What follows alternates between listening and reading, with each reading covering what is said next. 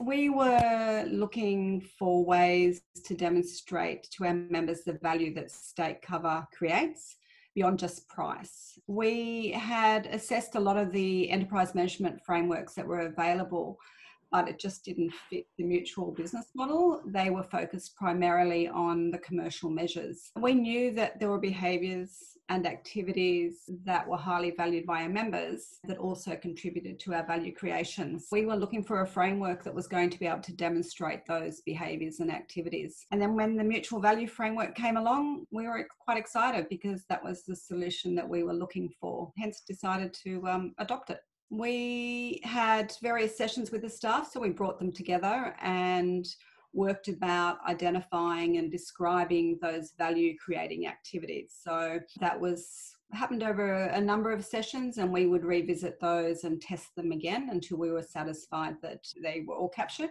We then set about developing the measures for those activities. Most of these we already reported on, so they're held in some document or database somewhere. We then set about defining those measures and we appointed owners to them and documented where that information was sourced. Then we set about developing future targets for the, each of those measures to help us sort of describe the performance we were looking for um, into the future. The targets from there we've now cascaded to across the business and down to teams and down to a KPI, individual KPI level. We want to capture those measures and the performance against them so we can report back to the business. So we're actually building those dashboards at the moment. From a qualitative perspective, measures included feedback from our members. So asking them about the things that they valued that we provided. And we used the survey feedback to set the, the targets for that. From a, a quantitative, things such as member retention, things like our investment returns, our pricing, how we compare to our competitors from a pricing perspective. We sort of concluded the employee value proposition was one of the measures, but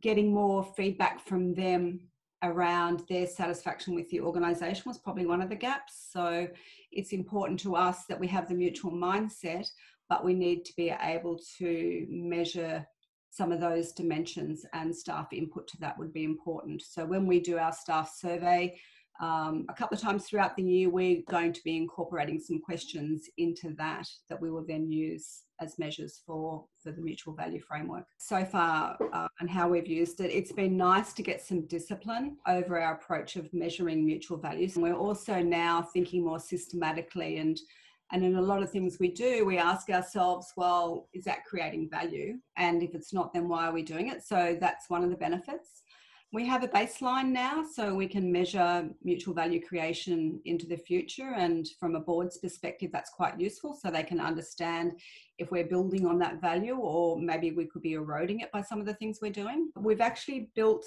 some of the output into our corporate um, messaging frameworks. So being able to communicate back to our members the value we create we now have proof points and we have evidence sources, which was really the starting point to all this, and which is why we wanted it. The measures that we're now providing to our staff in their KPIs, they can see how they're contributing through to the mutual value creation. So that's now useful.